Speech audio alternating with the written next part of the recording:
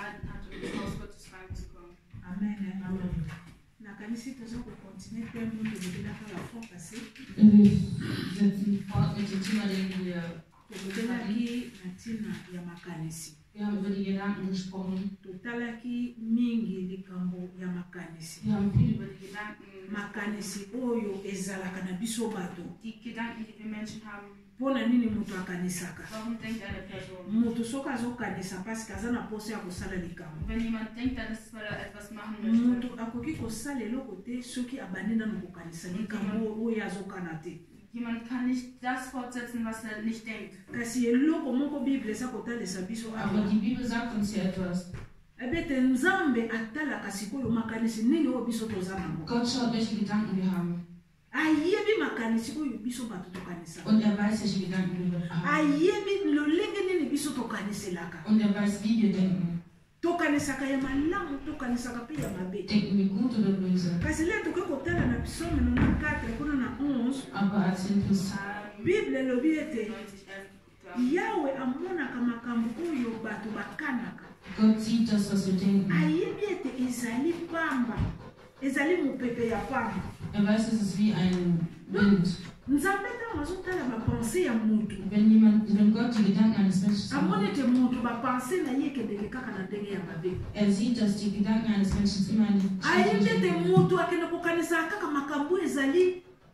ya pamba place ebongi ete akanisa makambo ezali ya malamu me azokende kokanisa makambo eza nango na ntina te yango bible ezoloba ete nzambe ayebi yango oyo nyonso tosalaka nzambe amonaka yango alobi ete aza kotanga yango oyo nano kutu ekomi na mitema te nzambe ayebi yango na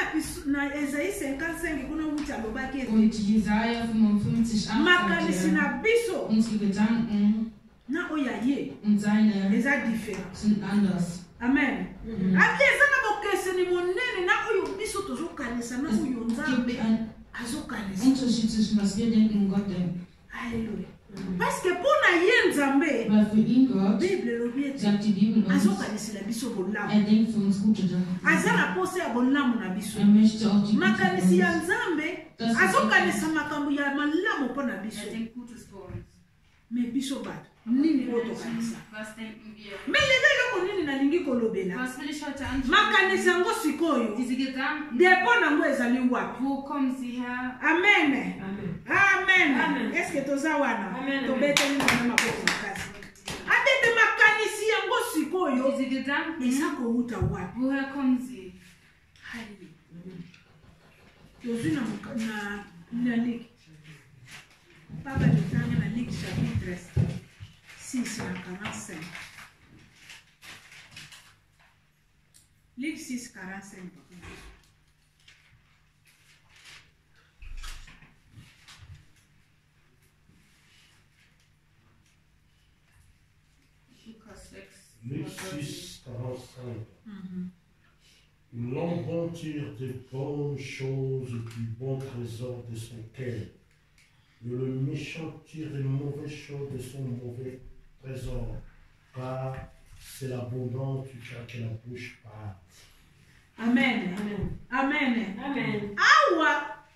Bible eza kotalisa biso likambo ya makanisi. Makanisi yango liboso eza kowuta wapi? Batalisi biso ndakisa lokola nzete. Soki nazongi na verse nango 43 bible eza koloba boye nzete ya malamu ebotaka mbum, mbuma ya mabe te nzete ya mabe ebotaka mbuma ya malamu te nzete nyonso eyebanaka na mbuma na yango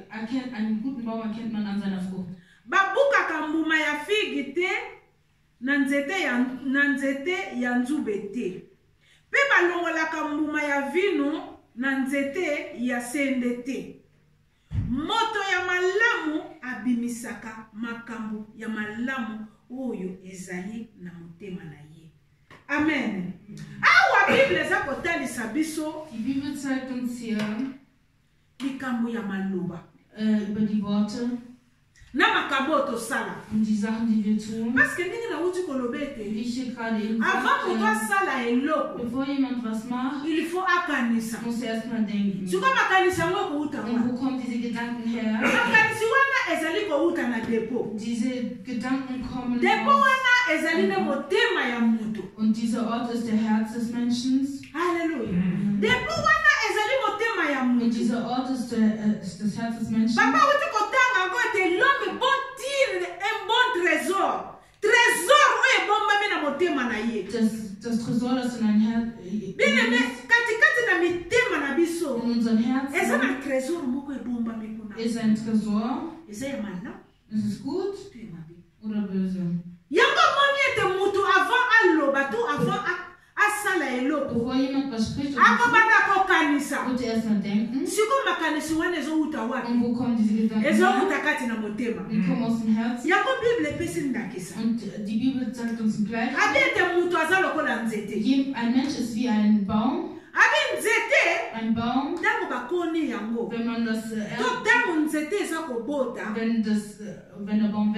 lelo bana kobimisa bambuma bato sikoyo bakoyeba eske mbuma wana eza malamu to eza mabe eza lokola vi ya moto eza lokola bomoi na biso abete katikati na bomoi na biso po ete nkolo ayeba biso lolenge nini tozali akompare biso lokola nzete mbuma nini tobimisa maloba nini tobimisa po ete nyonso wana va tobimisa yango ezowuta nanu na bapense amen soki katikati na mitema na biso na makanisi na biso tovandi kaka na makanisi ya mabe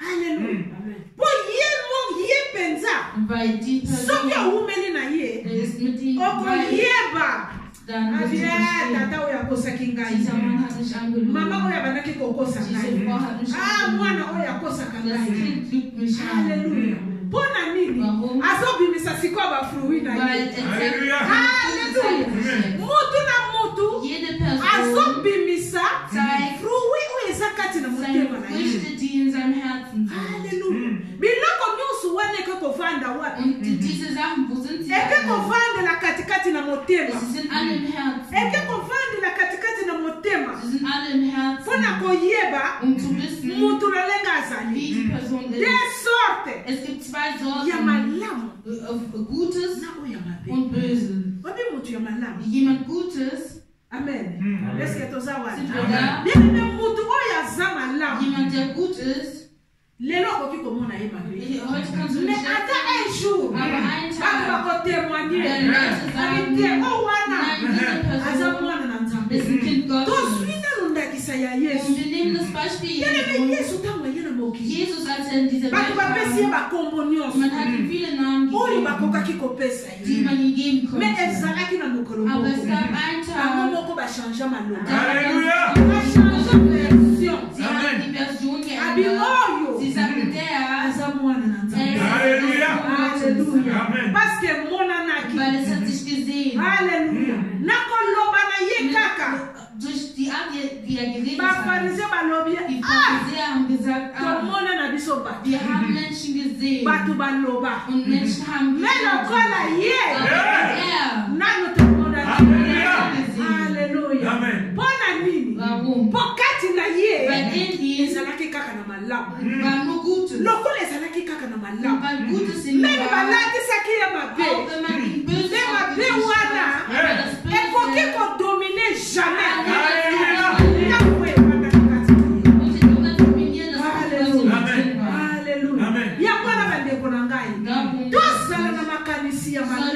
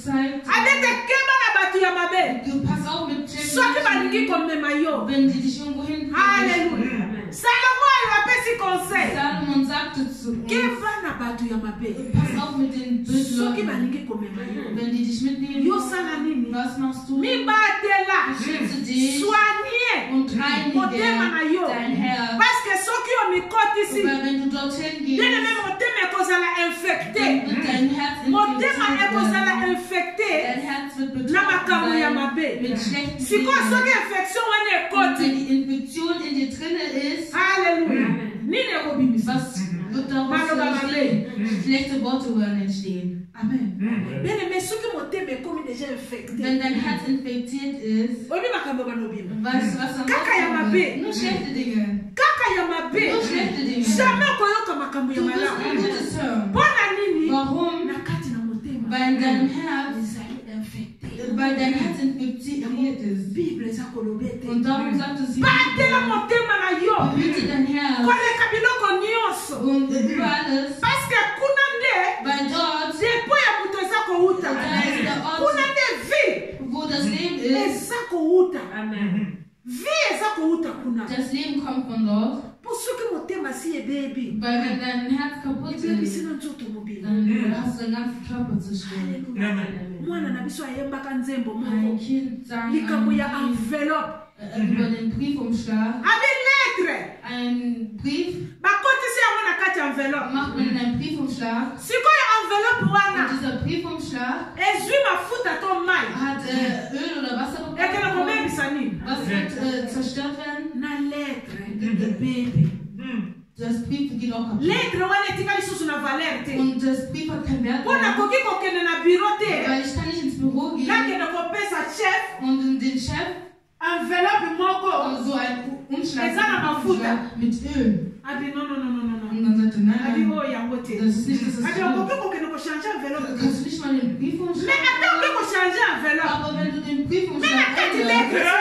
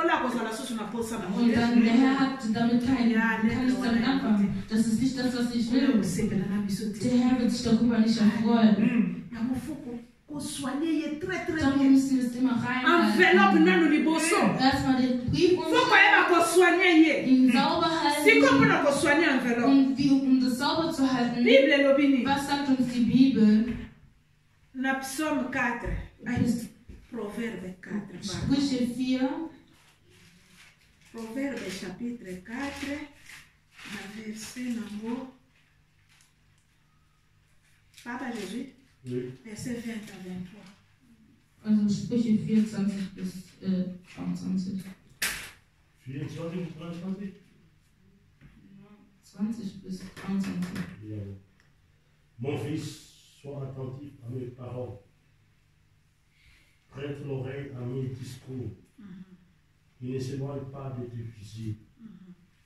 Garde-les dans le fond de ton cœur car c'est à la vie pour ceux qui le traversent. C'est la santé pour tout le corps. Garde ton cœur plus que toute autre chose, car de lui viennent les sources de vie. te osoki nano kaka wana mwana na ngai oyo conseil salomo aza kopesa yokaka maloba na ngai tia matoi na toli na ngai kobosana yango te bomba yango na se ya motema na yo mhm. yango ekopesa yo bomoi mpe nzoto malamu mhm. na baye nyonso bandimaka yango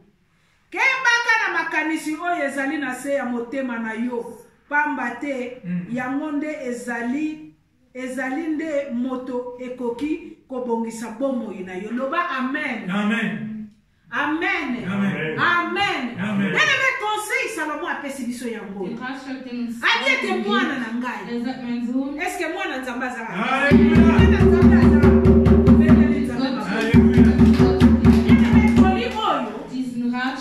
eza mpo na bana na nzambe eza mpo na biso oyo tozoka maloba na nzambe eza mpo na biso oyo tondimeli yesu masiya mpo na nini salomo azalaki kopesa maloba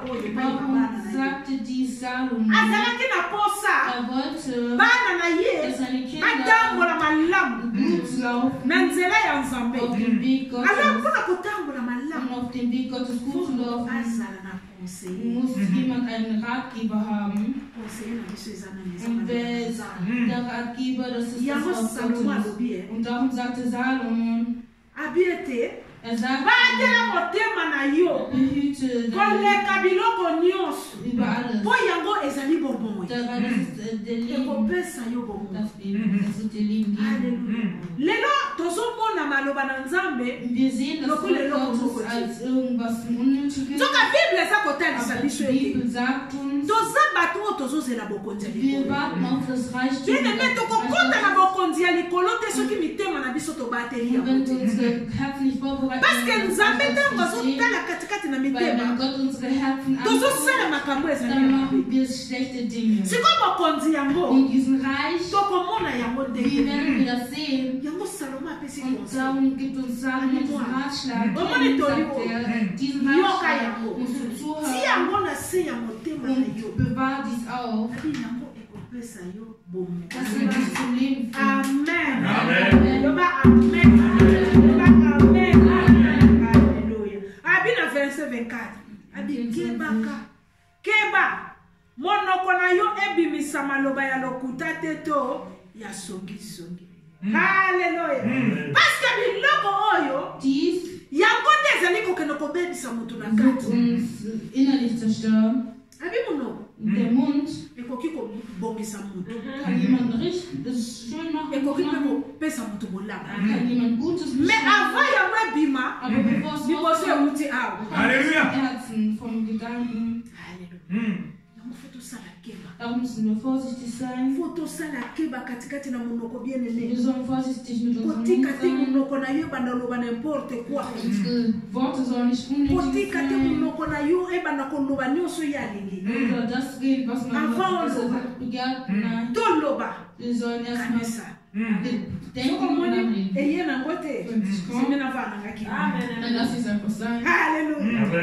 toza kaka na salomo kuna komi sikoyo na 6 na 6 awa tozotala sikoyo makambo nsambo makambo 6 choses oyo nkolo azoyina oyo nzambe aboyi Makambo nsambo oyo Nkolo ayini. Abitala makambo nsambo oyo Yawe ayinaka. Na pardon, Proverbe 6 eh, na bandi na 16. Tala makambo nsambo oyo Yawe ayinaka mpe alingaka ata moke te. Haleluya. Eske toza wana? Toza wana? Toza wana? Betela Nzambe maboko makasi. Bible eza kotalisa biso ete Salomo apesi biso lisusu toli. Abi ete eza na makambo sambo oyo Nzambe alingi te. Alingi te yango yo osala te, alingili mpe ngai nasala yango te.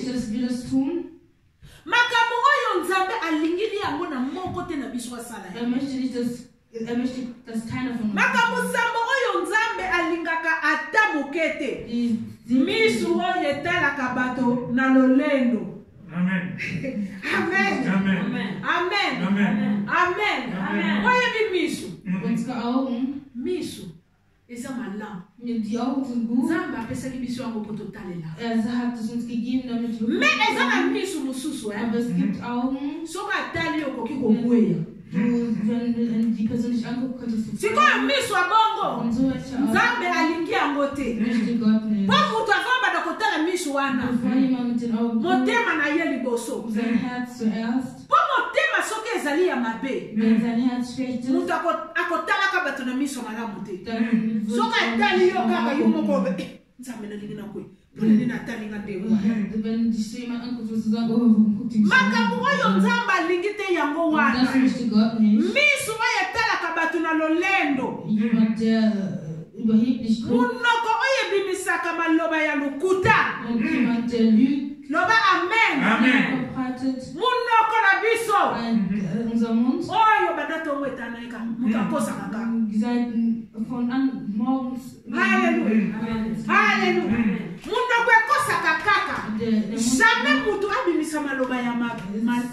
ya solo kaka lokuta kaka lokuta makambo wana nzambe aboyaka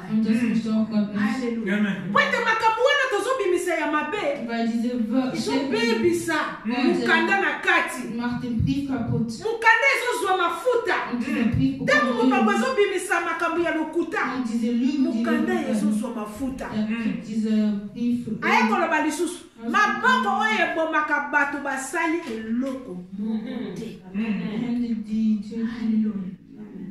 maboko aleluya na maboko nzambe azoboya oyo ezokende kosalela mabe abete motema oyo ekanaka koyokisa bato mpasi eza na mitema bien emekesei moto mosusu avandi kaka wana ko akanisaka kaka mabe abi ye mpenza mokolo na kozwa ye ye mpenza ndenge aza na kobonga te ye mpenza ye mpenza na ye mpenza azokanela yo kaka yo ozala kaka mabe ah, mpo na nini nyonso wana ezowuta na motema na ye lokola okati na motema na ye depo na ye eza ya mbindo akokolinga bolamu ya moto bible elobi ete nzambe ayini makambo wana loba amen amen amen makolo oyo ekendeke mbangu mpo na kosala mabe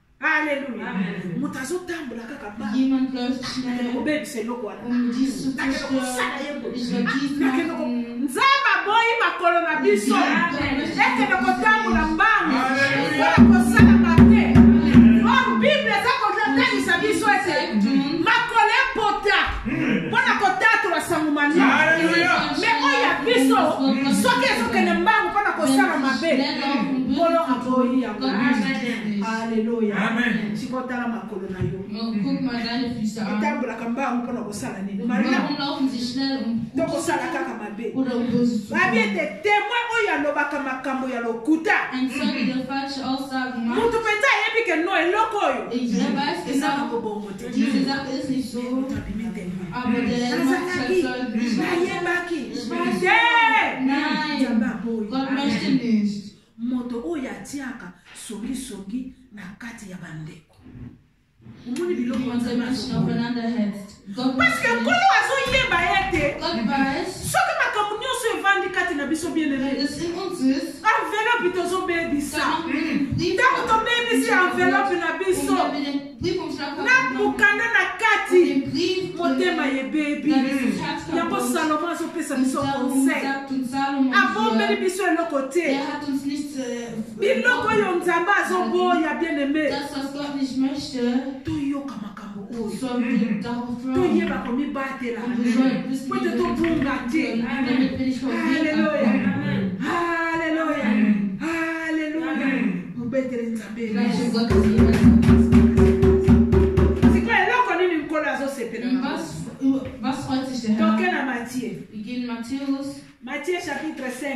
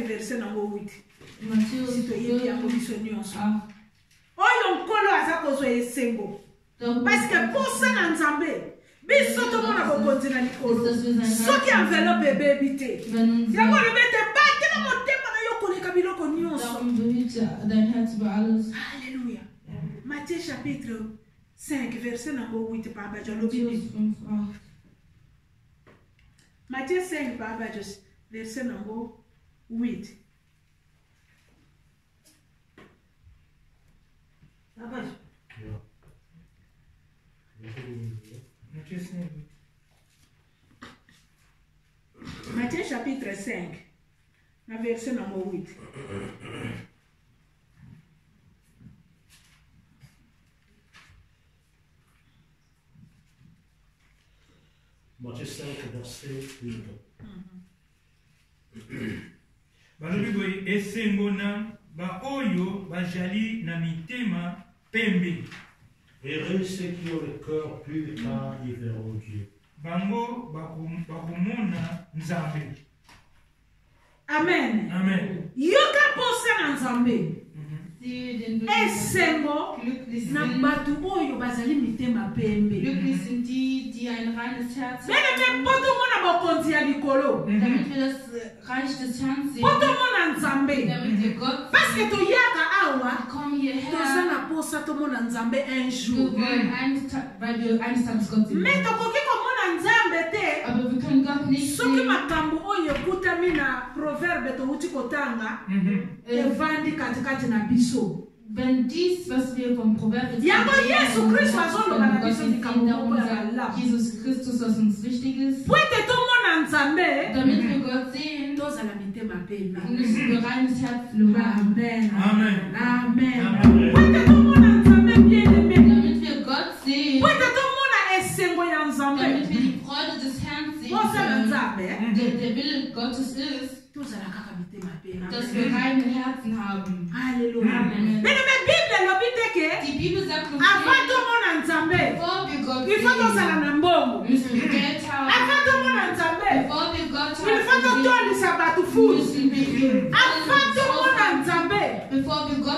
il faut tozala soki bato ya lolenge nini eloko moko kaka bible eza kosenga na biso ati te soki mitema na biso eza pembe aleluya aleluya ndenge nde soki toza mitema ya pembe okoki kozala yo moko me okomona nkolo loba amen okoki kozala mibale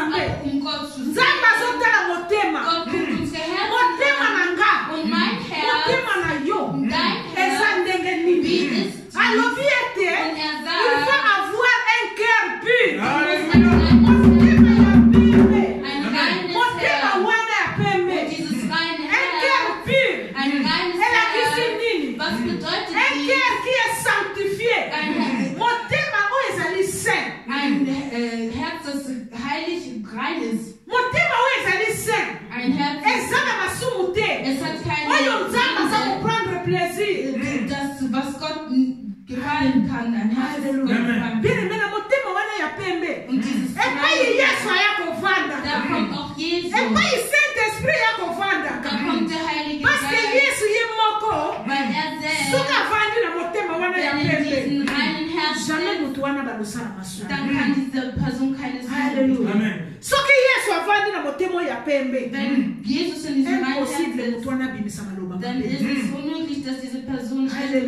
bokoki kosala ye mabe me akobimisa maloba mabe te bokoki kofinga ye akobimisa maloba ya mabe te mpo na nini azobatela motema na ye ezala pembe po ete kaka mwana nzambe po bible elobi ete esengo bato oyo baza mitema pembe bakonde na komona nzambe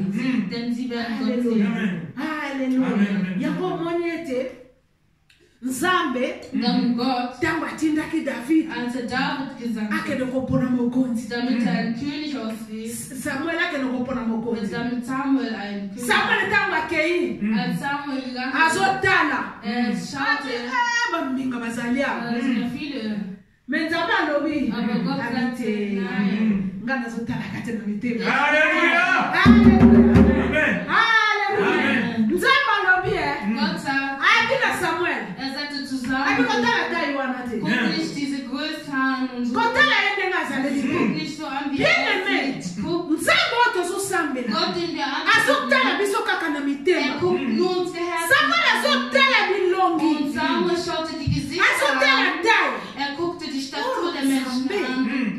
azolinga ayeba na mitema eske toza pembe eske toza pembe bien eme soki toza pembe loba ete nakomona nzambe aleluya soki kaka oza motema pembe mpo samani ntango amoni eliya bambinga Sango oyo mpenza ye ya bongi. Mpe Nzambe alobi te. Yango mwana alobi ete azotala katikati na motema. Bible elobi ete kozala pur, être saint, sans péché. Alléluia.